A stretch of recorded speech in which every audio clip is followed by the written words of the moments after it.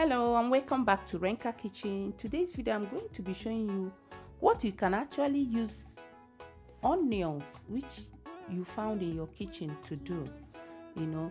Onions is not only meant you know to use in spicing up your food but rather there are so many benefits of using onions.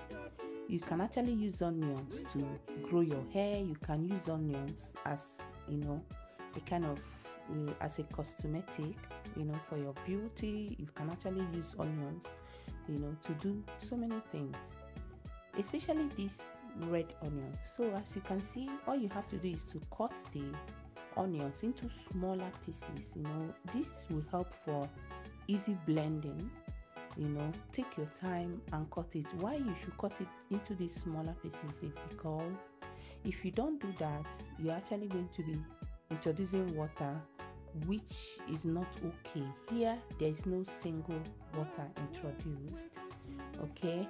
So i'm going to be blending it into a smooth paste which i just actually did.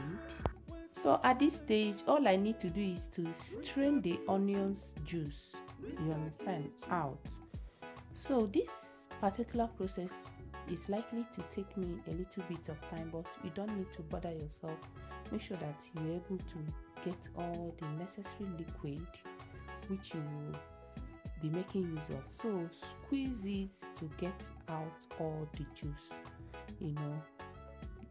The more you can get the better for you. So and that is what i am doing here. Take your time doing this. All we need is that original juice from onions. Onions contains you know a lot of water which we at the end of the day we call juice okay? So i just finished doing that. I'm going to be setting it aside.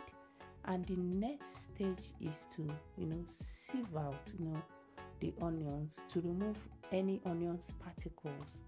Onions you know the onions juice has an antibacterial you know antifungal properties you understand?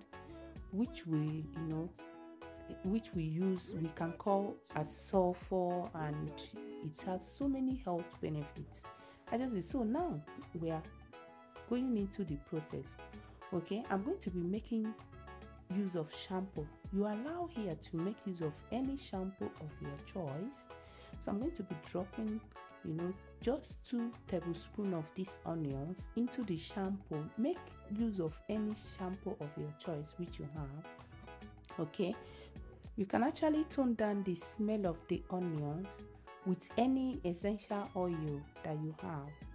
You know any essential oil you have just you make use of it. If you don't really like the smell of the onions which is for me is nothing so use the shampoo to massage your scalp and leave it there for like three minutes you know with that shampoo. When you massage you leave it for three minutes okay?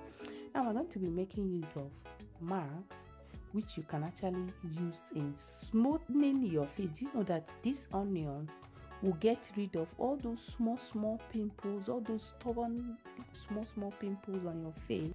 So here i'm making use of mustard seed oil you can actually make use of any oil of your of your choice. There are so many oils out there that your skin accepts. The only thing is that try as much as possible to find out the one that will you know match your skin. And then add onions. Use it as a face mask. Apply it on your face. Allow it to stay there for 20 minutes and wash off. Thank you for watching